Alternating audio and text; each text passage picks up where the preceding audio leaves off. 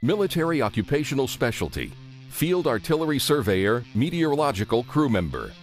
Modern field artillery is very accurate, and a key element in this accuracy is information provided by our surveyors and meteorological crew members using both traditional and modern electronic instruments to give our field artillery the position and angle or weather condition they need to maintain accurate fire and make every shot count. Because artillery operations are sensitive, you must qualify for a secret clearance in this MOS.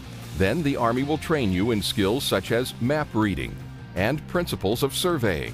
You'll train to use optical instruments such as the T16 theodolite and electronic devices such as the Improved Position Azimuth Determining System, or IPADS. You'll also train in cloud identification and the use of weather instruments like the psychrometer, the anemometer, and the barometer. You'll train to operate radiosondes and to inflate weather balloons with various types of gases. In addition, you'll train to operate weather computers, as well as to format digital computers that disseminate special information.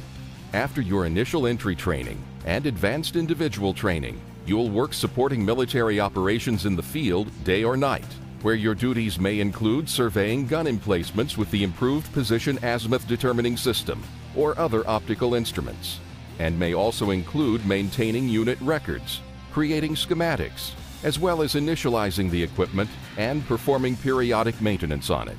Other duties may be setting up mobile weather equipment, observing surface weather, launching radiosondes to monitor changes, and preparing upper air data for our forecasters.